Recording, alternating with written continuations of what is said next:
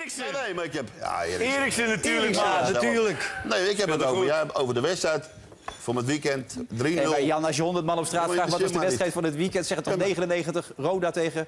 Nee, Ik zeg gewoon... Ja, en als je aan, en als je aan 100.000 mensen vraagt wie was de speler van Ja, het weekend... zegt er fluit wat niet jij aan één- 100.000 Zegt er mensen niet één de moesje. Hij vraagt het aan mij en ik zeg wat ik denk. Ja. Ja, zo is dat.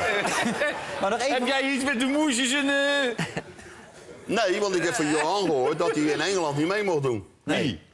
De Nee. moesje. Nou. Hij zat daar op de tribune bij een derde divisieclub. En nu Rotherham. hebben ze hem ontzettend goed gebruikt tegen Vitesse. Nou, jij dat van niet. En ik vond het, aan te kijken, van voetballen, vond ik nou, de manier waarop ze terugkomen.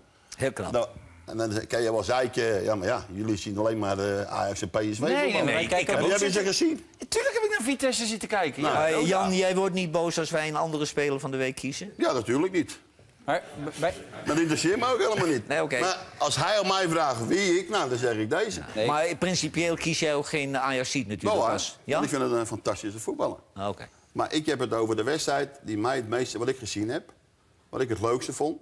Omdat, ik zeg niet dat het wereldvoetbal was, maar als je met een 3-0 gaat rusten, of weet ik wat, 3-1 geloof ik, en je komt op die manier terug, dan heb, heb je een leuke wedstrijd, denk ik, heb je een leuke wedstrijd gezien. Maar als je we zitten- nee, nee, technisch... maar even, nee, maar ik vond de moesje ook goed spelen. Ja. Ik, eh, maar,